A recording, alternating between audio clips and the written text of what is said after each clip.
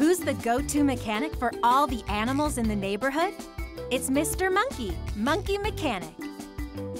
No job is too big or too small for Mr. Monkey. With a little ingenuity, planning, and his trusty monkey wrench, Mr. Monkey can fix just about anything.